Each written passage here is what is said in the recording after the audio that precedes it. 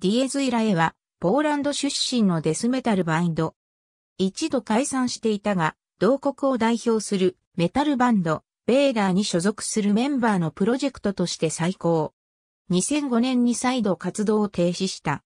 1992年にマウザー、チャイナ、チャルヌイ、ギランの4名で結成。1994年にファーストデモ、Fear of God をリリース。同デモは2年後の1996年にセレネーズレコーズから MCD として再リリースされた。当時の音はベーダーやモービットエンジェルからの影響の強い典型的なデスメタルサウンドだった。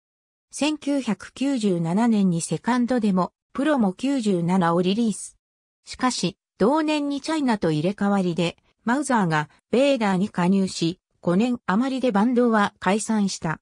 2000年にマウザーがマッシブ、マネージメントとソロ契約したことを機に、ディエズイラへの再結成が模索される。しかし、マウザーを除く解散前のメンバーがすでに音楽活動をやめていたり、ポーランド在住ではなくなっていたりしたため、結局マウザーとベーダーのドラマー、ドックの2名で再結成された。再結成から2ヶ月ほどで、マウザーとドックで作曲を行った。また、セプティックのギタリスト、ヤツェク・ヒロとデビリンのノビが加入する。その後すぐにレコーディングが行われ、同年中にファーストアルバム、イマラテッドをメタルブレードレコーズからリリースしデビューする。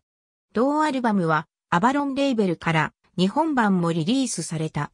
もともとはスタジオバンドの予定だったが、ファーストアルバムの評判やメンバーの相性の良さなどからライブも計画されるようになった。実現には至らなかったが、ナイルとのツアーも予定されていた。2002年にセカンドアルバム、ザ・シン・ウォーをリリース。同アルバムは、マウザーとドックがベーダーの活動で多忙なため、同年5月に集中録音された。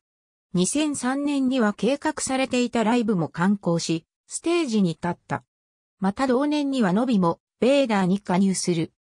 この加入で、ヤツェク、ヒロ以外のメンバーがベーダーと兼任という形になった。